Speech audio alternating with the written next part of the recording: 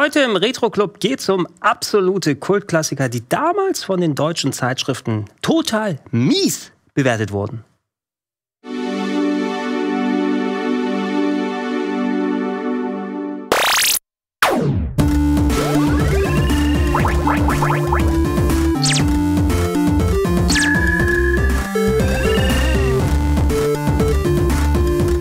Schönen guten Tag, herzlich willkommen, werte Zuschauer. Der Retro Club mit mir, eurem Gregor, ist wieder angesagt hier auf Rocket Beans TV. Wir werden wieder eine knappe Stunde Retro Gaming Unterhaltung dann euch bieten können, wo ihr jetzt schon mal abonnieren, liken, die Glocke läuten und andere Social Media Dinge machen können, macht sie am besten alle fünfmal hintereinander. Dann hat man auch auf Nummer sicher alles gemacht. Als auch Checkt gerne sowas wie diesen feinen Zwirn aus, denn wenn ihr den selber haben wollt, äh, wir haben das im Rocket Bean Shop, unter anderem unter diesem Link dann erhältlich, ist in der Videobeschreibung auch drin, als auch bevor wir alles hier runterwerfen. Äh, zwei Retro-Club-Bücher gibt es mittlerweile mit dem ABC der Videospiele Level 1 und Level 2. Ich muss mal gucken, wann diese Folge ausgestrahlt wird, sonst hätte ich noch mal ein bisschen Werbung machen können, denn ich bin demnächst äh, in Berlin und äh, mache quasi eine Lesung aus dem Buch, äh, zumindest äh, vor Ort mit ein bisschen Gamespielen, so ähnlich wie wir es hier machen. Äh, das ist am ähm, Gott, ist der 21. Juli, ist auf jeden Fall Dienstag in der ab 20 Juli Woche. Checkt Social Media aus, wenn ihr es verpasst haben wollt und die Folge schon ausgestrahlt wurde. Ist bestimmt cool gewesen, da seid ihr beim nächsten Mal dran gewesen. Äh, ansonsten, aber gehen wir wieder zurück zum Thema des Tages. Ich habe häufiger ja mal dank äh, solchen wunderbaren Seiten wie cultboy.com mich wieder durch die alten Zeitschriftentests lesen können. Einer der Gründe, warum ich dann auch in die Spieleberichterstattung gegangen bin auf die eine oder andere Art, weil ich eben sehr gerne in den Zeitschriften damals gelesen habe. Das Interessante ist, wenn du die nach 20, 30 Jahren dann wieder zu Gesicht bekommst, die ganzen Tests von damals, ähm, äh, kommt nicht nur jede Menge Nostalgie hoch, sondern auch, ich habe ja mittlerweile Selbsterfahrungen mit diesen Spielen gemacht und habe meine eigene Meinung und eigene Prozentwerte, die ich persönlich geben würde und denke dann, okay, warum ist das denn so passiert? Wie hat dieses Spiel diese Wertung bekommen? Wir haben schon Sondersendungen gemacht, wo wir uns besonders niedrig bewertete Spiele angeschaut haben. Wir hatten auch schon mal eine Sendung mit besonders hohen Spielen. Eine spezielle Kategorie, die mir aufgefallen ist, und das ist eben das Thema, des Tages heute, ist dann absolute Kultklassiker, wo ich persönlich sagen würde, hey, das sind in den meisten Fällen 80% Spiele, 90% Spiele, haben vergleichsweise niedrige Wertungen in den Zeitschriften bekommen. Und gab es dafür einen Grund? Kann man das irgendwie nachvollziehen? Oder haben die äh, Tester damals das Spiel gefühlt nicht richtig verstanden? Und äh, wir gucken mal aufs erste Bild drauf. Eines dieser Beispiele, mit dem wir einsteigen wollen, ist das gute alte The Legend of Zelda, der Klassiker schlechthin vom NES, hat eine Wertung von 64% bekommen von Reinhard Fischer in der Mega Blast 192. Ein kleines Zitat aus seinem Test. Begleitmusik und FX klingen auch bei der Fortsetzung nicht mehr taufrisch. Die ehemals karge Grafik hat sich dagegen sichtbar gesteigert. Ihr merkt an dem Zitat, ähm, da bezieht sich der Test von Reinhard nicht nur auf Legend of Zelda 1, sondern auch auf Teil 2. Und wir können mal gerne aufs Ingame auch nochmal draufgehen ähm, bereits, weil äh, da können wir im Hintergrund mal ein bisschen das Spiel laufen lassen, die selbst ablaufende Demo oder den Intro-Screen. Äh, ich habe die Tests hier auch rausgesucht. Ich werde euch ein bisschen ausführlicher darüber vorlesen, bevor wir reinschauen. Meine Zelda, ja, absoluter Klassiker, 1986 rausgekommen. Und da seht ihr vielleicht einen der Gründe, warum diese Wertung so niedrig gewesen ist, weil 64 Prozent, da muss man schon in sich gehen, um zu sagen, diesem Game gebe ich 64 Prozent nur, ähm, liegt an der Späte des Tests. Denn die Mega Blast äh, im äh, Jahr 1992 rausgekommen, ist ein Sonderheft gewesen von der Amiga Joker, meine ich, die normalerweise ja eher Computergames bewertet hat, aber wir haben Mega Blast als Konsolen-Sonderheft gemacht. Und da haben sie etliche Konsolen-Klassiker für die damalige Zeit, schon sechs Jahre vorher, ist ja im Original dann Zelda rausgekommen. Ich meine in Deutschland 88, 89, also ein paar Jahre älter schon und was die Tester damals gemacht haben, ist so älteren Spielen bewusst niedriger, niedrigere Wertung zu geben, von wegen, oh, wir haben ja so viel Fortschritt seitdem gemacht. Dementsprechend, wir können ja jetzt nicht sagen, Mensch, Legend of Zelda ist das verdiente 90% Plus Spiel oder wir geben dir nochmal 85 oder 86, sondern es gab entsprechend auch die Abwertung und ähm, es gibt nicht mal einen richtigen Wertungskasten hier im Test. Wobei, na gut, nee, es gibt keinen richtigen Wertungskasten. Es gibt so einen Fließtext für Teil 1 und Teil 2, die zusammen bewertet wurden. Äh, Zelda 1 hat 64% bekommen Und ich gehe mal hier kurz rein. Und Zelda 2, The Adventure of Link, hat 91, äh, 71, oh, 91, ich denke schon ganz automatisch im 90er-Bereich, 71 Prozent bekommen. Also wird es höher bewertet als das erste Zelda, was vielleicht auch nicht die Meinung von vielen Leuten ist. Ähm, denn insgesamt würde ich persönlich auch sagen, dass das originale Zelda ein bisschen besser gealtert ist als äh, The Adventure of Link, was einfach teilweise auch enorm hohen Schwierigkeitsgrad hat und ähm, durchaus ein bisschen unfairer wirken kann als der Klassiker jetzt hier.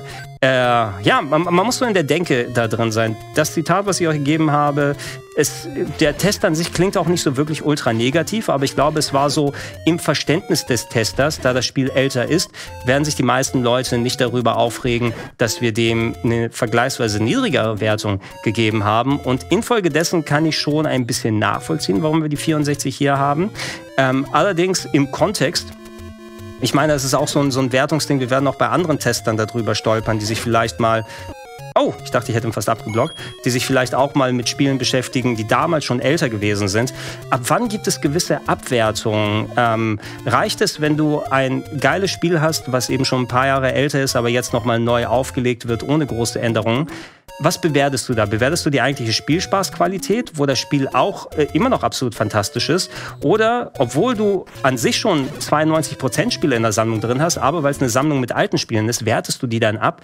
Solche Fälle haben wir dann auch teilweise und da muss man immer versuchen, sich so ein bisschen reinzuversetzen in die Denke wie viel kannst du diese Prozentwertung vertrauen? Musst du dann immer den Kontext sehen, von wann sie damals entstanden sind? Und ja, gerade Zelda hier, wie gesagt, so ich finde hier nicht so ultra viele negative Formulierungen. Da kein separater äh, Kommentarkasten, kein Fazitkasten ist, kann ich euch nicht mehr dann sagen als äh, das, was ich kurz schon mal zitiert habe. Und ich gehe mal kurz, wir können aus dem Ingame auch rausgehen, weil so lange müssen wir die Klassiker hier natürlich nicht spielen. Ihr wisst über Legend of Zelda mehr als gut genug Bescheid als Action-Adventure mit freiem, freierem Dungeon-Ablauf, mit Dungeons überhaupt. Das Konzept richtig eingeführt für Action-Adventures auf einer Konsole und einfach so ein wegweisender Titel hat hier trotzdem 64 Prozent bekommen. Ich gehe mal kurz durch die anderen Wertungen.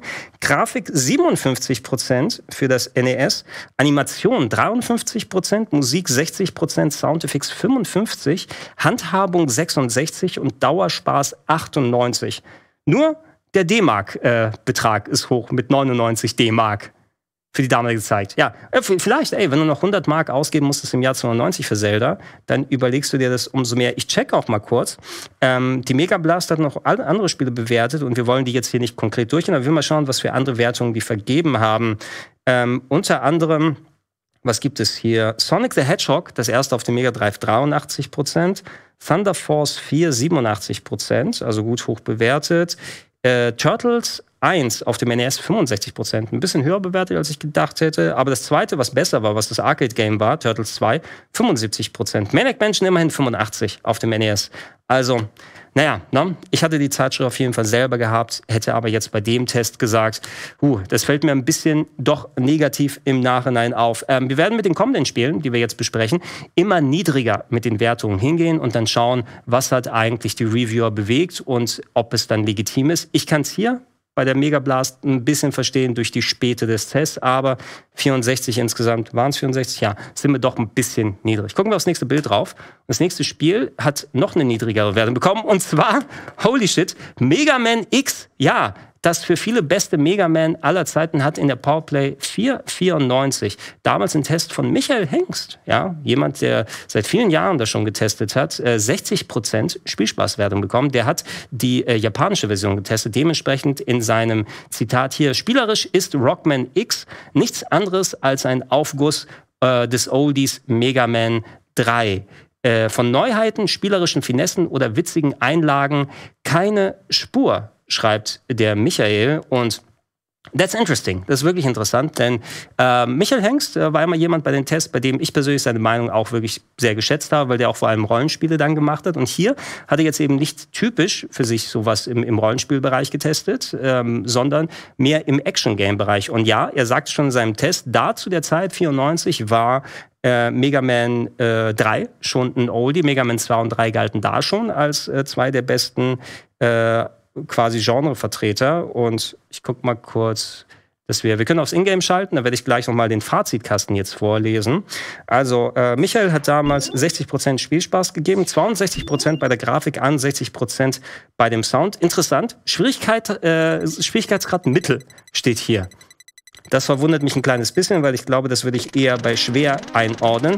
Also, der Fazitkasten von Michael, werden wir im Hintergrund ein bisschen das sehen. Rockman alias Mega Man hat mich so manche Stunde Schlaf gekostet auf dem NES. Auf dem Super Nintendo raubt mir der schlagkräftige Knirps eher die Nerven.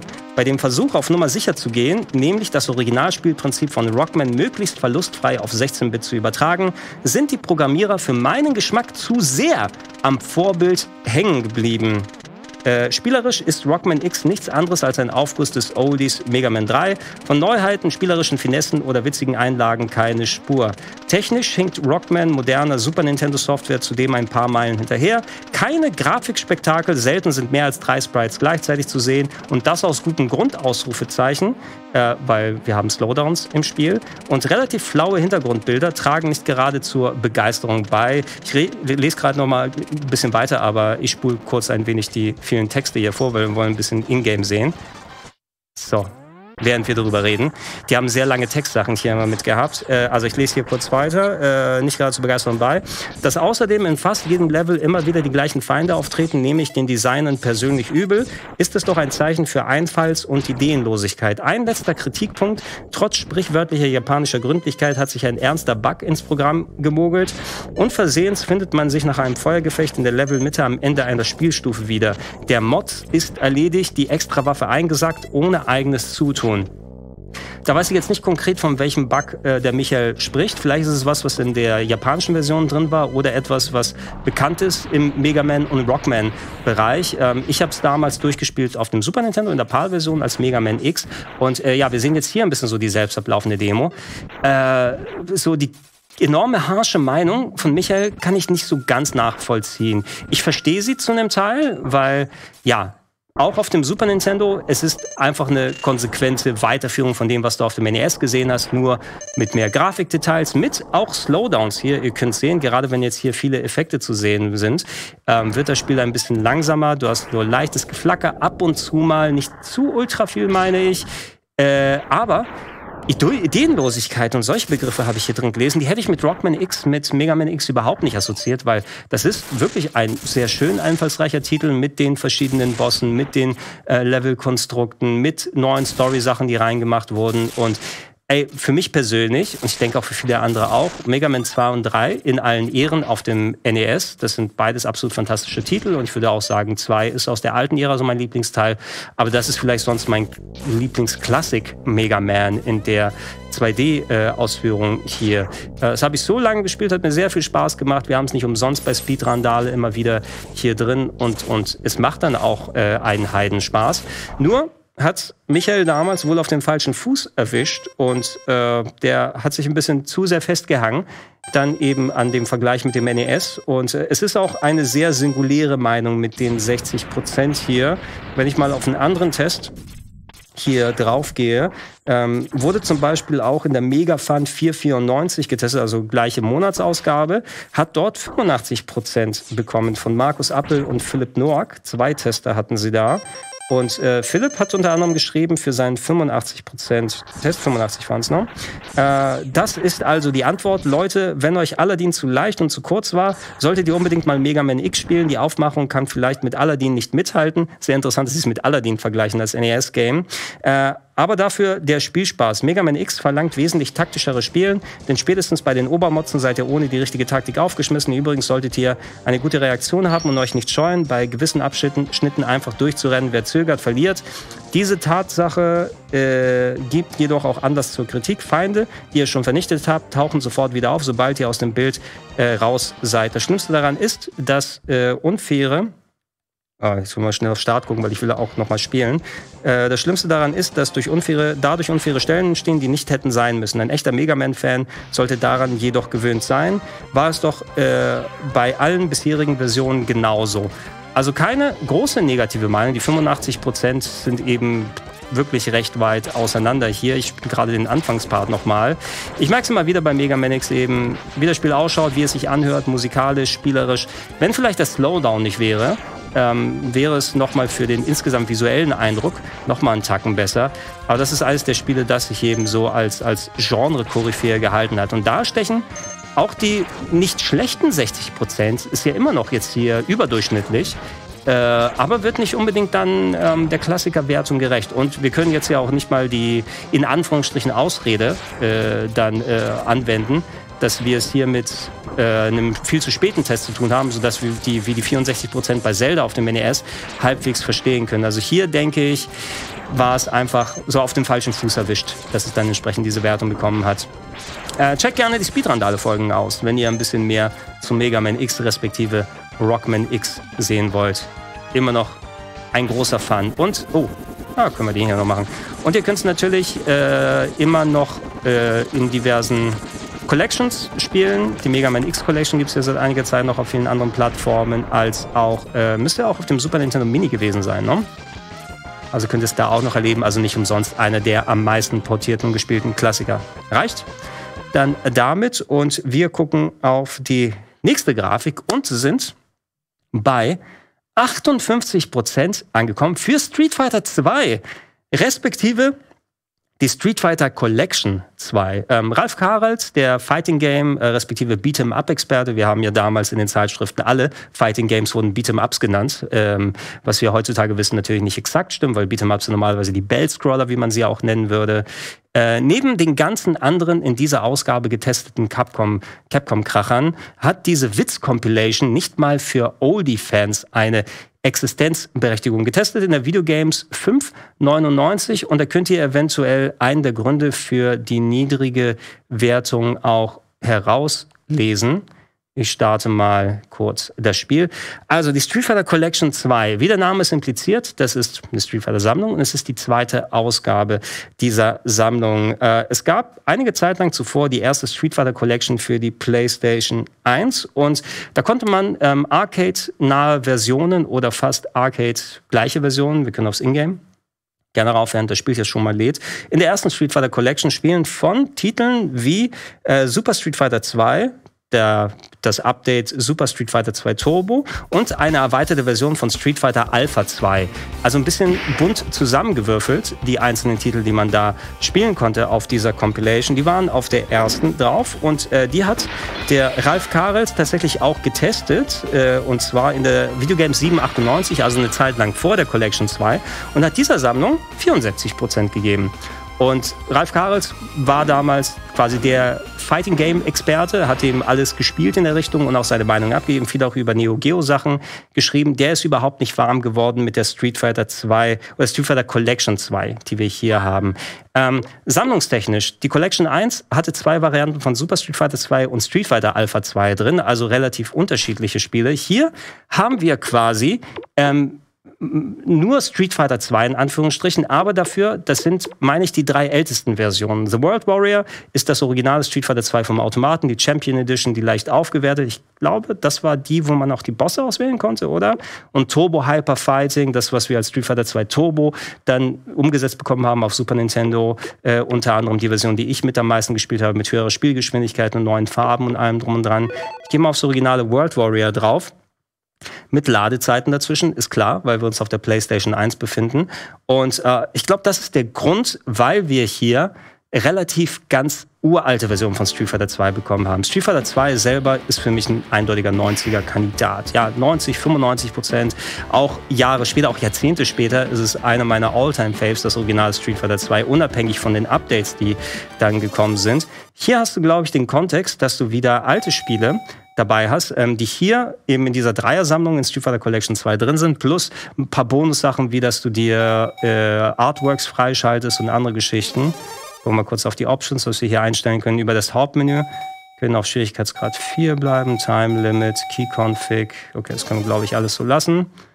Und gehe mal kurz in den Arcade-Modus rein, der mich wahrscheinlich komplett jetzt weghauen wird, weil die Schwierigkeit des Arcade-Automaten war doch relativ enorm.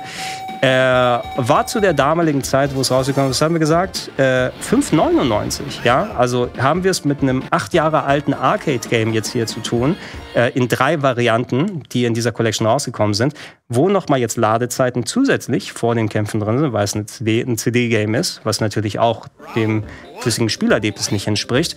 Ähm, Ich hatte es kurz mal verglichen mit der Arcade-Fassung selber. So von wegen, sieht man hier Unterschiede, was, was du auf der Playstation häufig hattest? War zum Beispiel, äh, dass äh, gerade bei solchen Fighting Games wegen des Arbeitsspeichers Abstriche gemacht werden müssen, was die Animationsqualität angeht, dass da Frames gefehlt haben im Hintergrund. Aber ich kriege auch hier, ich merke bei dieser Version kriege ich auch meine Moves alle nicht vernünftig raus. Der Flashkick will nicht so richtig. Wahrscheinlich das PS5-Pad nicht so gut geeignet, wenn ich mit dem hier spiele. Bin ich sehr an andere Pads gewöhnt. Na komm. Oh, der erwischt mich jetzt. Nee, Oh, ich habe den Kampf tatsächlich noch gewonnen. Immerhin, trotz äh, meiner verhauten Steuerung jetzt hier. Äh, es kann also durchaus sein, dass gerade bei solchen Fighting Games, die umgesetzt wurden auf PlayStation 1, dass da Animationsphasen fehlen und dass du da so die Grafik ein bisschen zuckliger ausschaut. Ich meine hier aber, das sollte eigentlich recht originalgetreu dem Automaten entsprechen, auch wenn er schon etliche Jahre alt ist. Und äh, dieser Zusammenschluss äh, bei Ralf, dass wir es sowohl äh, mit äh, dann drei Ausgaben von der ältesten Version von Street Fighter, wo wir schon eine Collection bekommen haben mit den quasi besseren Versionen von Super Street Fighter 2 plus Street Fighter Alpha 2, was damals noch ein relativ frischer Titel war. Und dann bekommst du das hier hinten dran, das, das zu dieser enormen Abwertung geführt hat. Ich werde gleich nochmal den Wertungskasten hier vorlesen und Ralf hat sogar einen Vergleich zwischen verschiedenen Beat'em-Ups, verschiedenen Fighting Games hier in den Test mit eingebaut, um zu zeigen, was für eine Mogelpackung seiner Meinung nach hier diese Street Fighter Collection 2 drin ist. 58 Prozent. Trotz der Natur als altes Spiel und ich gucke mal, ob ich rausgehen kann und dann äh, mal eins der anderen Spiele hier aktiviere mit der Ladezeit. Das dauert natürlich dann so ein bisschen. Er hat ihm wohl persönlich so vor den Kopf gestoßen, weil er eben andere Sachen, oh, ich kann hier, oh, ich kann hier nicht raus, okay. Dann werde ich gleich mal so vorlesen. Oder nee, Blanke hau mich mal kaputt. Und dann lese ich mal hier vor und dann können wir vielleicht ins Hauptmenü dann rübergehen. Äh, hat er sich wohl so ein bisschen persönlich auch äh, angegriffen, naja, gut, nicht persönlich angegriffen gefühlt. Da ist natürlich, also das können wir natürlich nicht wissen, aber es ist ihm wohl dann nochmal saurer aufgestoßen, dass es diese Wertung gegeben hat. Äh, Ralf hat damals geschrieben, geht so. Äh, zu Street Fighter Collection 2 fällt mir eigentlich nichts mehr ein. Im Grunde wird euch hier ein einziges Oldie-Spiel zum Vollpreis angeboten. Neben der ganzen anderen in dieser Ausgabe getesteten Capcom-Krachern hat diese Witz-Compilation nicht mal für Oldie-Fans eine Existenzberechtigung. Selbst die beiden Collections zusammengefasst wären mangels Abwechslung nicht Kaufeinreiz genug. Oh, da packt er die erste Street Fighter Collection mit ein. Jeder einzeln angeboten ist jedoch eine Farce. Irgendwo hört der Spaß bei Capcoms Street Fighter Vermarktung bei mir auf. Mein Tipp, wollt ihr unbedingt ein altes Street Fighter spielen, sucht euch auf dem Gebrauchtmarkt ein Super Nintendo mit Super Street Fighter 2, was euch schätzungsweise genauso viel kosten wird. Ja, mittlerweile nicht mehr. äh, der Sammler, die Sammelpreise sind ja enorm gestiegen. Äh, mal sehen, ob die Jungs sich bei Street Fighter Collection 3 mehr zusammenreißen und endlich mal eine vernünftige Compilation mit mindestens Street Fighter 2, äh, Street Fighter 1, Street Fighter 2 Turbo, Super Street Fighter 2 Turbo, Street Fighter 2010. Interessant, das ist das NES-Game, was eigentlich nicht Street Fighter ist, aber dennoch den Street Fighter-Namen hat. Und Final Fight 1 bis 3 gebacken kriegen, was eigentlich ja auch mal zu Street Fighter hätte gehören sollen, die Final Fight-Serie. Und äh, ja, hey, diese Sammlung ist in der Form ihm wirklich enormst sauer aufgestoßen. Ja, ich glaube, hier komme ich dann auch nur raus, wenn ich dann entsprechend aussteige. Wir haben auch genug geschaut von der Collection hier. Äh, was ich persönlich relativ amüsant gefunden habe. 58 Prozent gab es hier für diese geilen Games, weil die in einer teureren Klassiker-Collection jetzt dann zusammengefasst wurden. Was war der Preis? Ich fand es lustig, dass Street Fighter 2 The Movie, das Videospiel, besser bewertet wurde insgesamt, was wirklich ein Grütze-Game ist auf der PS1. Das hat bekommen hatte ich mir hier nochmal notiert. Street Fighter The Movie hat 67% Spielspaß bekommen, also um einiges drüber hinaus noch. Und einer der Gründe, warum diese Street Fighter 2 Collection eventuell so mit Oldies vergleichsweise Oldies voll gemacht wurde. In Japan gehörte das eigentlich zu dieser Capcom Generations ähm, Serie, eine Serie von Capcom alten Games, die nochmal für PlayStation, ich meine auf Saturn neu aufgelegt wurden. Da gab es auch eine, eine, Sammlung mit dem originalgetreuen ähm, Ghouls and Ghosts und alles drum und dran. Und vielleicht ist das so der Hintergrund gewesen. Das war eh als Oldie Compilation in Japan angelegt, aber da es diese Oldie Compilation in der Form nicht eins zu eins im Westen gegeben hat, hat man also die Collection 2 daraus gemacht und schon wirkt es so, als ob du weniger für dein Geld bekommst, für die 90 bis 100 D-Mark, als wenn du die Collection 1 geholt hättest oder wie von Ralf hier gewünscht, alles zusammengemanscht in einem Spiel. Was wir ja zumindest in den späteren Jahren, da gab es ja bessere und umfangreichere Street Fighter Collections mit vielen mehr Titeln, wo die Dreier und die anderen auch mit reingetan wurden und alle Alphas, die kann man sich eher geben als das. Ähm, ich würde sagen, lass uns kurz mal hier durchatmen, eine kleine Pause machen und wenn wir aus der Werbung wieder zurück sind, dann geht es weiter mit viel mehr Klassikern, die mies bewertet wurden. Bis gleich.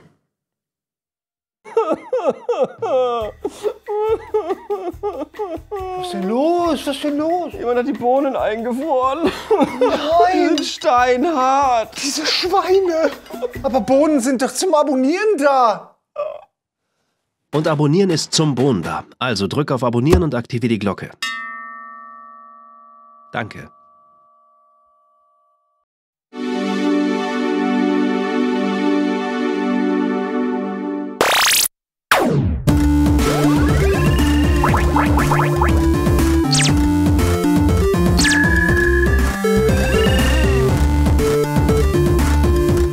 Da sind wir wieder. Die Pause ist vorbei im Retro Club. Es geht weiter mit dem Thema miese Wertungen für große Klassiker, gerechtfertigt oder nicht. Äh, ja, wir hatten im ersten Teil der Folge uns ja schon mit sowas wie dem 64 Prozent der Mega Blast für The Legend of Zelda auf dem NES beschäftigt, was ein bisschen nachvollziehbar, weil es ein wesentlich späterer Test gewesen ist. Sehr ähnlich wie bei den 58 Prozent für, für die Street Fighter 2 Compilation auf der PlayStation 1. Immer noch geile Spiele, die auch gut spielbar waren auf der PlayStation 1, aber alte Games zu einem neuen Preis nochmal aufgelegt.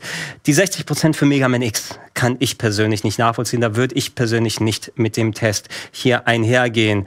Was mir auch sehr ähnlich bei dem nächsten Beispiel geht, weil das mir persönlich ein bisschen wehgetan, muss ich sagen. Gehen wir auf das nächste Bild drauf und gehen zu F-Zero auf dem Super Nintendo. Ähm, das Bild gerne vorne dran zeigen. Wir wollen im Test einmal kurz die Meinung mitnehmen, nämlich 55 Prozent hat F-Zero in der Playtime 1092. Über die Playtime müssen wir eh gesondert nochmal sprechen, weil da, geht's, da, da ist einiges gelaufen, habe ich den Eindruck, was die Spieletests angeht. Äh, Oliver Menne hat es damals getestet, hat 55 Prozent gegeben und unter anderem in seinem Fazitkasten geschrieben, der Sound klingt anfangs verblüffend gut, äh, doch sinkt die Begeisterung sehr schnell und der Lautstärkeregler muss einmal mehr in Anspruch genommen werden. Ich habe explizit dieses Zitat rausgesucht, weil F-Zero für mich eines der Spiele mit dem besten Soundtrack auf dem Super Nintendo ist. Und hier wurde das nochmal explizit als notwendig zum Lautstärkeregler zu greifen ähm, beschrieben von Oliver mit seinen 55 Prozent. Also, mm, I don't know. Ja, F-Zero Launch-Titel für das Super Nintendo. Ähm, jetzt können wir gerne auch aufs In-Game raufgehen, während wir das hier sehen, sehen gleich nochmal ein bisschen von der selbst ablaufenden Dämung. Äh, war natürlich ein äh, Paradestück damals zum Launch für den Mode 7 Effekt, also den speziellen Grafikmodus, wo du einen Background Layer, eine Hintergrundgrafik so kippen und drehen und bewegen kannst. Ähm, dadurch sind diese flüssigen, schnellen Straßen äh, für diesen Future Racer entstanden, inklusive tollem Design, äh, Strecken machen Fun. Die Musik ist wirklich fantastisch für Super Nintendo-Verhältnisse und es ist wirklich ein absoluter Alltime-Classic. Eines, das ich damals gern gespielt habe und immer noch sehr gerne spiele. Äh, die Playtime hat 55 Prozent gegeben. Ähm, für die Musik gab es 45 Prozent, für die Grafik 65, für die Spielbarkeit 65. Da ist man also für insgesamt auf 55 gelandet. Es gibt keinen Fazitkasten, aber der Test ist jetzt so kurz, dass ich den, glaube ich, komplett vorlesen kann. Und äh, wir können es ja da mal im Kontext setzen. Äh, also der Oliver Menne war's, ne? Der hat geschrieben, leider lässt sich F-Zero nicht zu zweit spielen. Okay, das ist äh, richtig, so dass sich nur ein Einzelkämpfer durch die unterschiedlichen Ebenen schlagen darf. Natürlich kann auf jeder Welt ausgiebig trainiert werden, vorbei, äh, wobei vor allem die scharfen Kurven im Langzeitgedächtnis abgelegt werden müssen, um heftige Kollisionen mit der Leitplanke zu vermeiden. Diese unscheinbaren Zusammenstöße zehren erheblich an dem bestehenden Energie Energievorrat, der erst kurz nach der Startlinie wieder aufgefrischt werden kann. Bisher sind wir im Beschreibungsmodus, also es wird beschrieben, was das Spiel ausmacht. Kaum werden die Weltmeisterschaftsläufe eingeläutet, geht es auch schon richtig los. Die Boliden werden ausgewählt und auf ihren Startplätzen platziert. Hochgezüchtete Motoren jaulen auf. Spannung liegt in der Luft. Wer hat wohl den besten Start? Beschleunigungsstarke Renner werden hier natürlich leicht bevorteilt, denn die großen, schweren Kollegen kommen äh, nur sehr langsam auf Trab. Dafür können sie aber auf langen Geraden kräftig zulegen und holen auf diese Weise die verlorenen Meter leicht wieder auf. Vom technischen Gesichtspunkt hat also jeder Fahrer, auch die Computergegner, die gleichen Voraussetzungen, sodass einem ausgewogenen Rennen bisher nichts im Wege steht. Bisher merke ich nichts von den 55 Prozent. Das ist alles jetzt Beschreibung, wie dieses Spiel funktioniert, was es alles ausmacht. Wo kommen die 55 Prozent denn her? Äh, einen kleinen Schuss Hinterhältigkeit muss man allerdings unbedingt im Hinterkopf behalten, denn die hemmungslosen Formel 0 Piloten, F-Zero, Formel Zero, äh, kennen kein Erbarmen. Da wird geschubst und gedrängelt, geschnitten und ausgebremst, ohne dass auch nur eine Regel verletzt worden wäre. Bei diesem Sport ist einfach alles erlaubt. Die Raumschiff-Sprites wirken klobig und sind nur sehr mittelmäßig animiert worden. Okay? Äh, ganz im Gegenteil zu dem sauber scrollenden Straßenbelag. Dieser kann F-Zero gerade, auch gerade noch einmal retten, denn er fließt endlos lang in den Hintergrund und bietet eine atemberaubende Geschwindigkeit. Der Sound klingt anfangs verblüffend gut, doch sinkt die Begeisterung sehr schnell und der Lautstärkeregler muss einmal mehr in Anspruch genommen werden. Also wirklich kritisiert wird wenig in dem Test. Aber das, also nach dem Text hätte ich nicht ganz 55 Prozent erwartet, muss ich sagen, sondern vielleicht kannst du was in dem 60er oder 70er Bereich geben. 70 kann man ja auch noch akzeptieren oder so. Das ist ja vielleicht nicht von jeder Person der Geschmack hier ähm, diese Art von Racer mit diesem futuristischen Ansatz. Zu der Zeit muss er eben wissen, sowas in der Flüssigkeit hattest du auf einer Konsole nicht. Ne? Wo, wo das so flüssig in dem Speed ähm, entlang gerauscht ist, auf Computern auch. Da musstest du fast, äh, fast eher in die Arcade-Halle gehen, um da sowas in der Art dir anschauen zu können. Und ja, Mode 7 ist natürlich etwas hier mit dem Kipp- und Dreheffekt. Das hat äh, seine Vorteile, aber auch seine Limitationen. Du hast keinerlei Höhenunterschiede mit Mode 7, weil es ja in Wirklichkeit nur ein Grafikhintergrund ist, der gedreht wird. Und dementsprechend bei den Gleiteranimationen oder das Aussehen der Gleiter, ich finde jetzt nicht, dass die dann schlecht aussehen. Also sind ja auch nochmal dezent animiert. Ich fahre eh immer am meisten sehr gerne mit dem Fire Stingray hier. Höchste Endgeschwindigkeit, zwar am schwierigsten zu steuern, aber es geht da noch einigermaßen. Ähm, wenn du richtig mit dem Game zurechtgekommen bist, und ich mache mal hier kurz den Turbo rein, macht der Gewohnheit, uh, an die Bande gekracht, das brauchte ich nicht. Kann sich entscheiden, ab wann man in Runde 2 den Turbo aktiviert, dass man die Zwischengeschwindigkeit hält. Äh, ich wurde von der Musik, von der Grafik, von der Spielbarkeit, das ist einer meiner meistgespielten Titel auf dem Super Nintendo gewesen, den du natürlich nicht im Mehrspielermodus in dem Spiel spielen kannst. Das ist eine Domäne von späteren F-Zeros dann gewesen, aber ganz im Ernst, ich weiß nicht, wo diese 55 Prozent herkommen. Wir checken gleich auch nochmal, ähm, nicht in der Ausführlichkeit, aber ich will noch mal kurz durch die Wertung der anderen Zeitschriften gehen. Und ich meine, dass F-Zero durchweg ein 80 Prozent Kandidat gewesen ist, den man damals mitgenommen hat. Und äh, ja, keine Ahnung. Äh, Playtime hatte ich kurz erwähnt als Zeitschrift. Also die Playtime selber, ich muss es mir noch mal genauer angucken, weil die war mal irgendwann in den Zeitschriftenregalen aufgetaucht und ich hatte die mitgenommen. Und da hatte ich das Gefühl, dass die Wertung teilweise sehr auseinanderging im positiven als auch negativen Bereich. Also äh, manche Spiele waren enormst hoch bewertet verglichen mit anderen Zeitschriften. Ich kann mich an etwas erinnern wie äh, die Dick Tracy-Umsetzung für den PC, meine ich damals, die in so Zeitschriften wie der Powerplay sogar irgendwie einen einstelligen Prozentbetrag bekommen hat. 7, 8 Prozent, irgendwie sowas. Und dann war es aber irgendwie bei der Playtime gefühlt Spiel des Monats mit 95 Prozent. Und ich denke, hä? Wo bin ich denn hier gelandet? Und da ist häufiger solch, man, manch solche Sachen. Ein bisschen vielleicht wie in der Mega-Fun, wenn da Sega-Spiele gewesen sind, die gerne auch mal höher bewertet wurden von Sega. Ähm, die, Plate, äh, die Mega-Fun-Leute haben ja auch, meine ich, das offizielle Sega-Magazin später gemacht. Das war wohl schon in der Mega-Fun zu einem Teil mit drin. Und äh, da greifen persönliche Vorlieben und persönliche Eindrücke mit rein. Vielleicht hat es ja der Oliver wirklich als ein 55%-Spiel empfunden.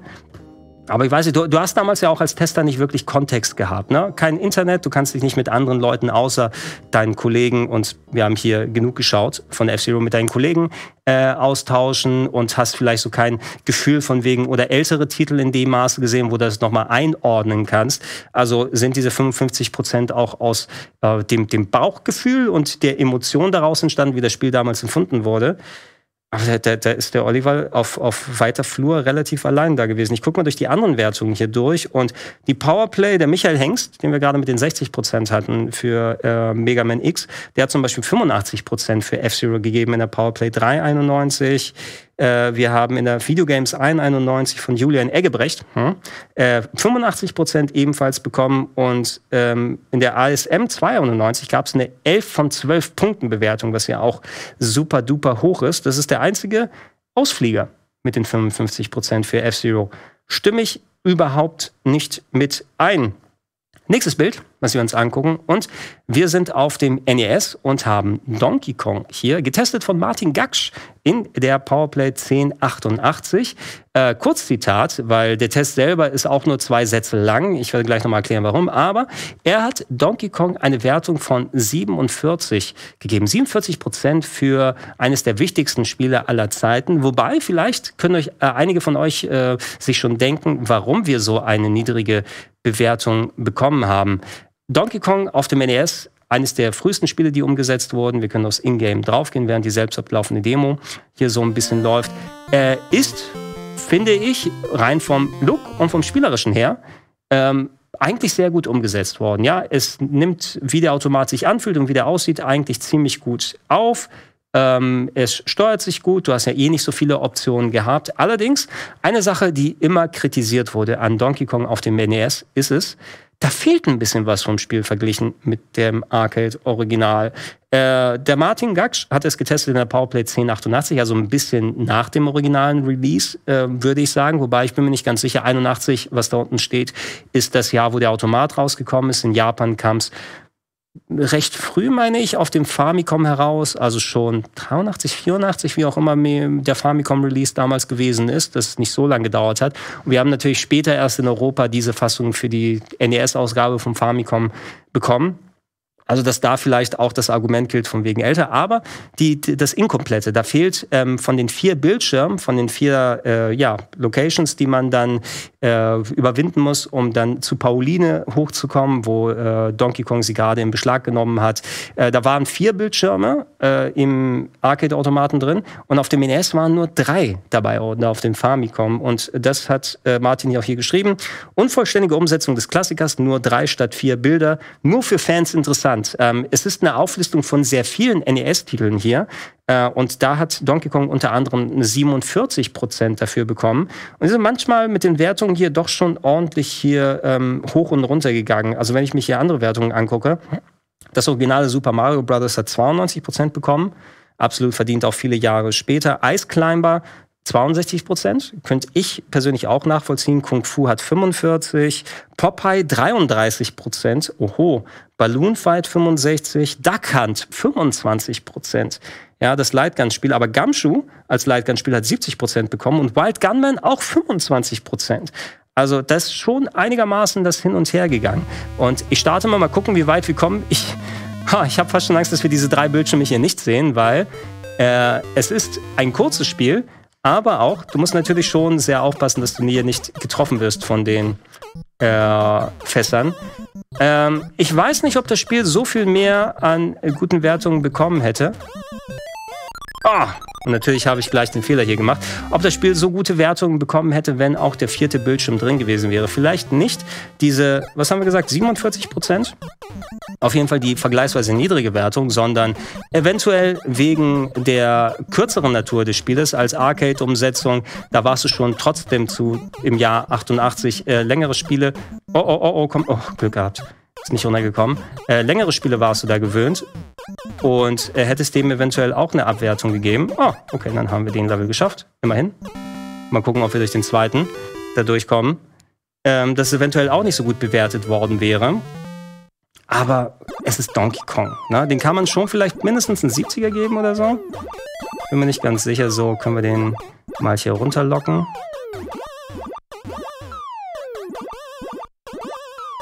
Uff, das war Glück. So, wie stelle ich mich hier nochmal hin? Okay. Haben wir Level 2. Boah, auch geschafft. Sehr knapp. Und jetzt sind wir schon am Ende des Spiels angekommen. Jetzt müssen wir hier äh, durch diese Blöcke in der Mitte. Ich hätte also parallel auch übrigens die Items von Pauline hier einsammeln können. Die mich nochmal... Oh, verdammt, ich, hatte nicht richtig, ich war nicht richtig auf der Treppe. So, lass mal gucken, ob wir das noch hinbekommen. Eigentlich gar nicht mal so schlecht. Oh oh. Oh, jetzt habe ich den da unten gefangen.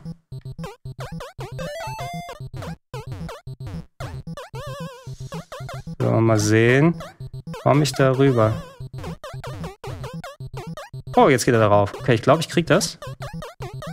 Dann haben wir ein komplettes Let's Play quasi hier. Geschafft. Äh, das war das komplette Spiel hier auf dem NES. Wir haben Donkey Kong in seine Schranken gewiesen. Wir hätten noch eine Minute mehr spielen können, äh, wenn wir äh, den letzten Level, und hier wiederholt sich jetzt wieder, wir hätten eigentlich noch einen anderen Level gehabt und den Abspannbild und alles drum und dran. Jetzt fängt es wieder von vorne an und es wird, es wird schwieriger. Äh, man kann die 47 Prozent wahrscheinlich auf eine gewisse Art nachvollziehen. Es blutet mir trotzdem ein klein bisschen das Herz. Es ist ein geiles Spiel und so waren Arcade-Games damals in der Form. Aber im Jahr 88 hat das zu einer extremen Abwertung von Martin geführt. Genug davon. Wir sind im 40er-Prozent-Bereich gewesen und zwei Spiele haben wir noch. Und bei beiden blutet mir auch ein bisschen das Herz, muss ich sagen, denn gerade die Titel hätte ich nicht im 30er-Prozent-Bereich gesehen. Und wir gucken auf das nächste Bild drauf und sind bei Thunder Force 3 rausgekommen. Einer der herausragendsten Horizontalshooter zu der damaligen Zeit, getestet in der Playtime 1191 von Christian Müller. Der hat geschrieben, unter anderem eine echte Low-Budget-Produktion, Ausrufezeichen, und eine Wertung von 36 Prozent gegeben. 36 Prozent für Thunder Force 3. Also Thunder Force 4, der Nachfolger von Thunder Force 3. wir können aufs Ingame auch gerne raufgehen, da kann die selbst ablaufende Demo schon ein bisschen was machen. Der vierte Teil gilt als einer der besten Shooter aller Zeiten, weil er noch mal ein kleines Stück besser gewesen ist als der dritte, der früh, als er rausgekommen ist, im Jahr 1990, ähm, für die damaligen Verhältnisse, was das Visuelle, das Gameplay, die Musik und so weiter, schon einer der herausragendsten Horizontalshooter gewesen sind. Aber nicht für die Playtime damals. Das ist jetzt erstmal die selbst ablaufende Demo. Ich werde auch gleich versuchen, noch mal selber zu spielen. Ähm, Christian Müller hat damals geschrieben und leider auch in der Playtime kein Fazitkasten, sondern ein umfangreicher Test. Ich gucke mal, ob ich hier ein paar Zitate rausgucken kann. Ähm, die Zahl der Ballerknaller-Module im Horizontal-Scrolling für das Sega Mega Drive muss doch langsam unüberschaubar sein. Eine Einöde. Manche davon warten wenigstens mit ein paar neuen Gags auf oder beeindrucken durch tolle Animationen oder Grafiken. Mit Thunder Force 3 ist aber wohl nur das Meer der Massenware noch ein bisschen massiger geworden. Holy shit, das ist doch, das ist doch einiges. Äh, ich spring mal ans Ende des Tests. Der erste Eindruck ist manchmal entscheidend. Den vermittelt schon das Handbuch lieblos in Schreibmaschine abgetippt und mit grauschleigeren Screenshots versehen. Eine echte Low-Budget-Produktion. Ja, ähm, also Thunder Force 3 hat von Christian Müller überhaupt nicht den Nerv getroffen. Für die Grafik gab es 45 Prozent. Sound, oh, ich kann es durch die Auflösung nicht erkennen. Könnte es eine 90 oder eine 80 sein? Glaube, Sound hat eine hohe Wertung, aber die Auflösung des Tests ist hier so als Screenshot leider nicht hoch genug. Spielbarkeit 30, Motivation 30, Gesamt die 36 hatten wir. Ne? Ich gucke nochmal hier kurz genau. Und ich würde dem überhaupt nicht beipflichten. Genau, 36 Prozent. Wenn ich auf andere Wertungen drauf gucke, und ihr seht hier nochmal weiter, also das ist ein gut aussehendes Spiel, alleine mit den ganzen Wisch- und Waber-Effekten, da geht ordentlich was ab. Du hast jetzt hier nicht wirklich mega Slowdown und alles. Die Musik knallt. Ähm, Thunder Force hatte ein interessantes äh, Extrawaffensystem, wo du Extrawaffen einsammeln kannst, aber jederzeit die Extrawaffen durchwechseln durch diese Leiste oben. Ähm, du konntest die Geschwindigkeit deines Gleiters einstellen nochmal. Es ist auch einer der ein bisschen faireren horizontal Realschule. Die, er war schon nicht ähm, unleicht, äh, nennen wir es so. Er war schon durchaus ein bisschen kniffliger, aber jetzt nicht tödlich super schwer, als dass du gar nicht dann reinkommen kannst, wenn du es ein bisschen gelernt hast. Ich werde gleich komplett versagen, werde ich schon sehen, weil gleichzeitig erklären und dann spielen wird bei solchen Games schwierig. Ne? Und meine Reaktionsgeschwindigkeit ist auch nicht mehr die größte. Aber Thunder Force 3 war eigentlich immer ein großer Knaller. Und wenn man sich den Kontrast hier mal anguckt, ähm, die Mega Blast 1,92, die, äh, ja, da hatten wir es kurz angesprochen, die dann äh, Zelda so niedrig bewertet hat, 85 Prozent gegeben, der Peter Braun dort, äh, Powerplay 99, der Martin Gaksch hat 85 Prozent gegeben. Äh, und das steht im kompletten Kontrast gegenüber den 36, die wir hier haben. Ich gehe mal rein. Und äh, welche Stage wollen wir auswählen?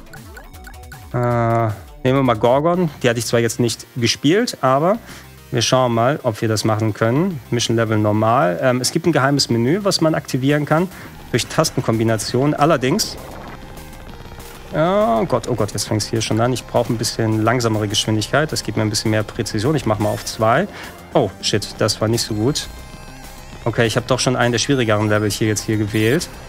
Ähm, und hier bringt es mir ein bisschen mehr, wenn ich meine Feuerpower gerade durch die eine Waffe nach vorne hier hinpacke.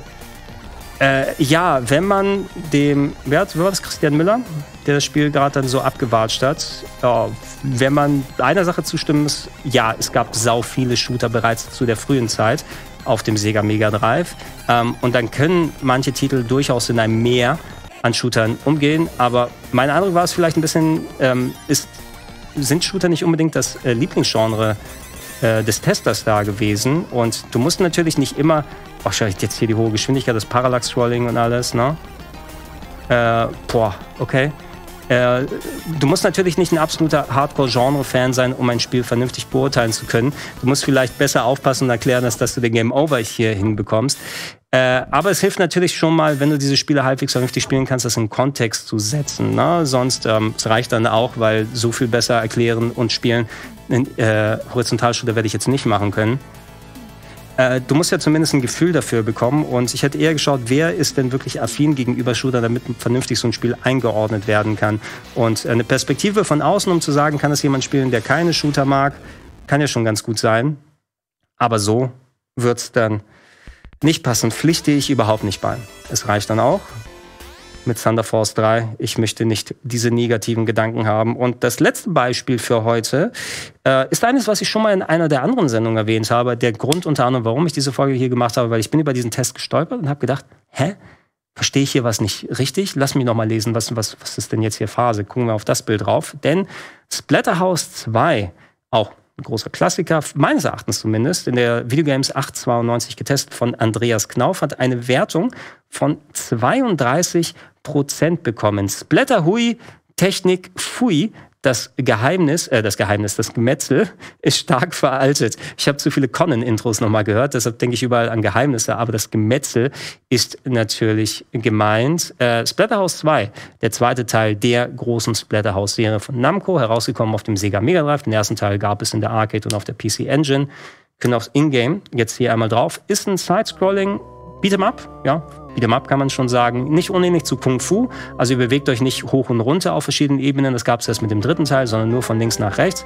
Und äh, ist äh, ein Splatter-Horror-Game mit einem Charakter, der eine magische Maske aufhat, so dass er ein bisschen so ausschaut wie äh, Jason aus dem Freitag der 13. Filme. Und das war ein meines Erachtens immer, ja, spielerisch nicht ultra tiefes, aber ein gut aussehendes, ein atmosphärisches, ein stimmungsvolles Spiel und eben gerade für Horror- und Splatter-Fans etwas, was du zu der Zeit nicht besonders häufig gekriegt hast. Und ich lese hier mal kurz den Wertungskasten von Andreas Knauf vor. 32% Spielspaß, Grafik hat 38 bekommen, Musik 35, Soundeffekte 48. Als Horrorfan und Sammler von ungeschnittenen Gruselstreifen konnte mir Splatterhouse 2 keinen Schrecken einjagen. Okay? Einige von euch werden aber sicherlich äh, wenig Gefallen daran finden, wenn Blutfontänen aus gespaltenen Schädeln spritzen und Monsterkörper an der Wand zermatschten.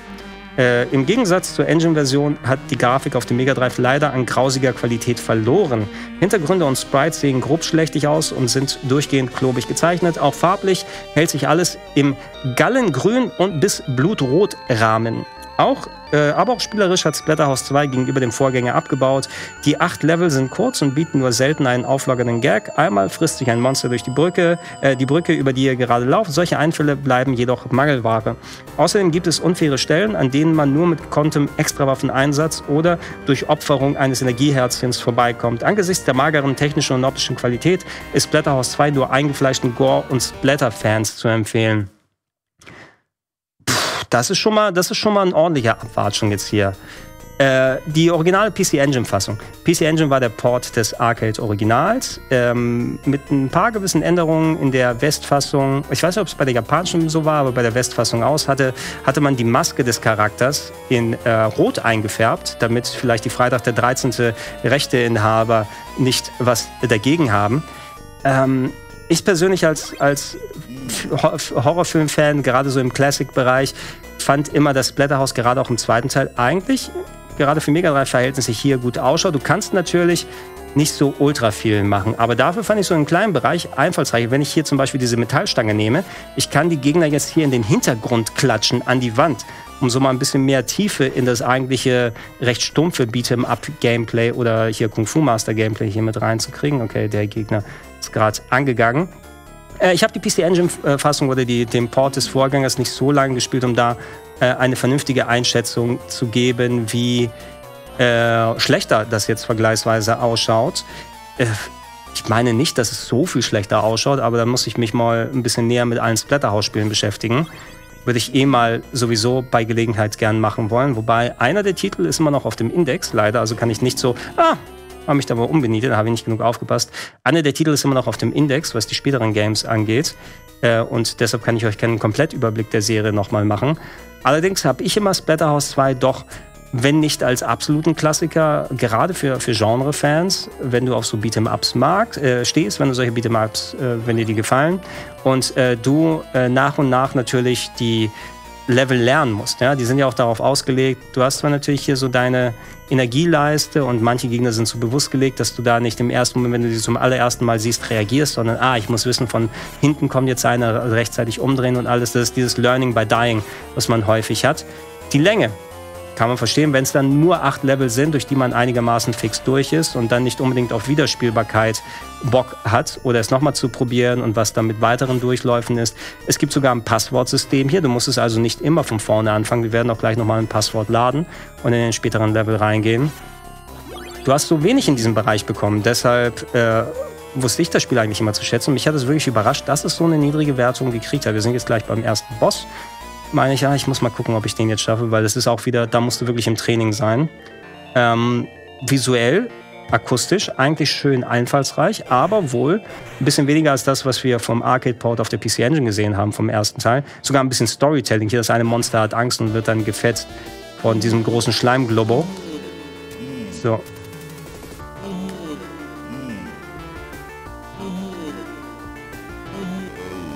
Ah, da hat er mich nochmal erwischt. Bin ich nochmal beim Endboss jetzt hier?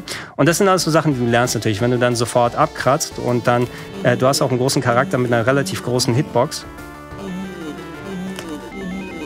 Aber ich habe ihn geschafft, glaube ich. Habe ich mich durchgewurschtelt. Jetzt platzt ihm auch noch die Plauze. Die, die platzte. Die Plauze. der raus. Und ich habe es in Stage 2 geschafft mit dem kleinen Intro-Bild, An Elevator. Sind wir jetzt hier hingekommen. Äh, auch ein typischer Staple, so ein Standardelement von Beat'em-Ups, die äh, Aufzugsequenz, wo Gegner in den Aufzug dann, wo auch immer dann runterspringen aus dem Schacht und hier man nicht wirklich groß flüchten kann. Ja, schwierig wird es durch die große Hitbox des Charakters. Ich glaube, das hatte ich kurz angesprochen. Der ist natürlich massiv und äh, muss schauen, wann erwische ich die Gegner und wann erwischen die mich. Ich kann den Punch machen, ich habe den Jump Kick, ich kann unten den Kick machen. Was vielleicht nochmal nett gewesen wäre, wäre so eine Art Uppercut wie bei Altered Beast oder so. Äh, aber der ist hier leider nicht vorhanden. Ich lade mal kurz einen Spielstand. Äh, zack. Ähm, denn ich habe schon mal ein Passwort eingetippt, bei dem ich durch einen äh, späteren Level dann durchgehe. Und das wäre hier zum Beispiel schon mal Level 4, das ein Autoscroller wird, wo ich äh, gerade verfolgt werde von einem riesigen Cthulhu-Wesen da im Hintergrund. Und schon habe ich Scheiße gebaut. Oh oh, jetzt bin ich schon erwischt hier. Ah, okay, ich glaube, das werde ich nicht überleben. Weil ich muss mich daran vorbei bewegen und im richtigen Moment punchen, mich nicht erwischen lassen, weil sonst werde ich wieder zurückgedrängt. Mm, und jetzt hat es mich hier erwischt. Also es bringt schon auch mal ein bisschen Abwechslung in die Level dann rein. Wirklich gerade so ein großer Konzentrationspunkt. Und was da nicht dann extra Abwechslung darüber hinaus drin ist und die Kürze des Spieles insgesamt und alles. Ähm, der Andreas Knauf, das getestet hat, ja auch geschrieben, er ist Horrorfilm-Fan. Und ich dachte, vielleicht ist man da potenziell ein bisschen kulanter solchen Sachen gegenüber, wenn dann Atmosphäre, Stimmung und grundsätzlich das Gameplay geht ja schon in Ordnung. Nur eben nochmal ein bisschen spezieller, dass du auf vieles achten musst. Okay, ich sollte vielleicht Jump Kicks machen. Ich probiere es mal gleich. Oh, hab's aber doch geschafft in den nächsten Part. Immerhin ganz nett. Hier. Und es gab auch durch, durchaus ein paar Story-Sachen, die da passiert sind. Hier nochmal eine andere Art von Hintergrund. Leider kein Para, oder gut, ein bisschen Parallax nur hier. Oh, ich bin fast ins Loch da reingefallen. Uh, andere Zombies mir hier weghauen. Diese Zombies hier, interessant. Äh, äh, da sind teilweise Geister. Wenn die mich in Beschlag nehmen, wie der hier, dann äh, ändert sich meine Steuerung. Dann ist nämlich äh, vorne, hinten und hinten vorne. Das heißt, ich muss jetzt umgedreht mit dem Joypad lenken äh, solange ich von denen äh, beseelt wurde. Und äh, ja, auch nochmal das andere Maß an Abwechslung hier, als ob man hier verwirrt ist in Rollenspielen. Der, der Verwirrtzustand. Äh, was bei einem Jump'n'Run umso schwieriger sein kann, denn hier muss man natürlich achten, dass ich hoffe, dass der jetzt hier über meine Sprunganlagen nicht zu Ende geht, der Verwirrzustand. Ein paar haben wir jetzt hier auch. Weil in die Löcher reinfallen ist ungeil. Guck mal, wie viele der Geister mich hier behaken gleich. Ich, kann die, ich hoffe, dass die mich nicht umbringen, wenn dann zu viele hier dran sind. So, mal gucken, komme ich an dem vorbei. Ja, die habe ich, doch, hab ich doch gut abgelegt. Sind wir bei dem Boss? Mal sehen. Oh, wir sind bei dem Boss. Ah, das, der wird schwieriger. Ich glaube, an den kann ich mich erinnern. Der macht nämlich einen Slide. Okay.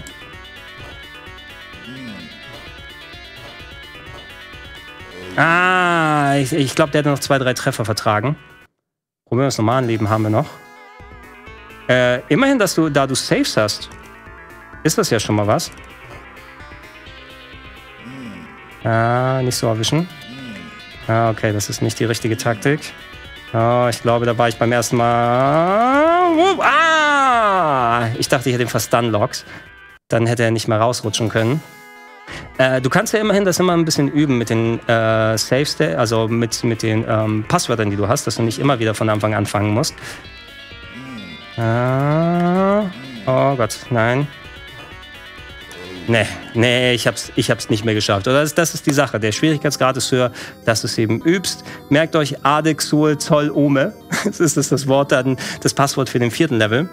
Genug davon genug dann hier drauf geschaut. Äh, interessanterweise nicht die einzige schlechtere Meinung zu Splatterhouse 2, denn das war gerade der Test von der äh, Videogames. Äh, 892. In der Powerplay 992 wurde das Spiel ebenfalls getestet von Volker Weiz äh, mit 38 Prozent statt 32 zum Würgen, sein Kurzurteil. Und sein Fazitkasten schreibt, das hat Namco gründlich in den bluttriefenden Sand gesetzt. Alle Elemente, die in der Automaten- und PC-Engine-Version äh, für regelrechten, äh, für recht gepflegten Spielspaß sorgen, fehlen in der neuen, im neuen Versuch, äh, dass die Feinde in selten dämlichen und unfairen Formationen über den Bildschirm wanken. Könnte man zur Not noch verschmerzen, dass die Kollisionsabfrage aber ungenau und das Leveldesign von beispielloser Fantasielosigkeit zeugt, wird den echten äh, Splatter, äh, Splatterer Okay, oh, wird den echten Splatterer nicht abschrecken können.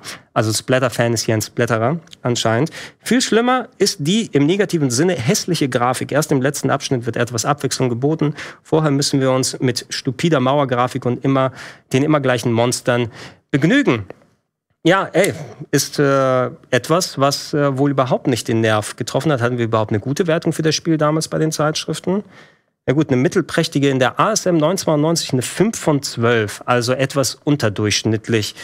Äh, so schlecht hätte ich das jetzt nicht eingeschätzt. Vielleicht habe ich das auch nur zu sehr verklärt bei mir im Kopf und es ist eher vielleicht ein 60 oder 50, 60 Prozent Spiel, aber ich hätte es nie so niedrig eingeschätzt. Äh, Leute, das waren mal ein paar Beispiele dafür, für Spiele, die mir aufgefallen sind, dass sie sehr niedrige Wertungen hatten. Ein paar kann ich nach dem Lesen vom Test jetzt nachvollziehen oder verstehen, warum diese Wertung gekommen ist.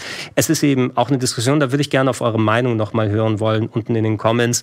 Ähm, muss man eine Wertung abändern von dem Spiel nur weil es älter ist? Wenn ich jetzt ein Spiel teste von 1990 und da ist das damals eins der besten Games aller Zeiten gewesen ist, wie sieht die Wertung aus? Bewerte ich es nach den damaligen Maßstäben? Ähm, darf ich dem einfach keine gute Prozentwertung geben, weil es so viel Fortschritt in den Jahren dazwischen gegeben hat? Oder bewerte ich es so, hey, es ist ein altes Spiel, aber was ist heute noch von der Qualität übrig geblieben? Was wäre so der Ansatz für euch? Das erklärt ja einige Tests, wie sie hier gelaufen sind. Aber auch, wenn ihr irgendwelche Tests noch in Zeitschriften im Hinterkopf habt, gerne auch mal mit Link, damit ich mal durchlesen und mir das anschauen kann, wo ihr sagt, dass die, niedrig, die Wertungen waren viel zu niedrig, auch in die Comments mit rein. Äh, bis dahin aber, checkt gerne unseren weiteren Content hier aus. Solches Merch wie das hier findet ihr unter, unter dem Link, auch in der Videobeschreibung in unserem Shop. Das Buch haben wir erwähnt und supportet uns gerne über den Support. Das glaubt, der macht es möglich, solche Formate wie die hier umzusetzen. Im Speziellen, wenn ihr den Retro Club Link benutzt, dann äh, drückt ihr diesem Format eure Zuneigung aus. Äh, wir sagen schon mal Danke an all die Leute, die es gemacht haben und Danke im Voraus an die, die es machen werden. Und ich hoffe, euch beim nächsten Mal beim Retro Club zu sehen, wenn es wieder heißt Retro Club. Ist ja auch klar. Bis dann.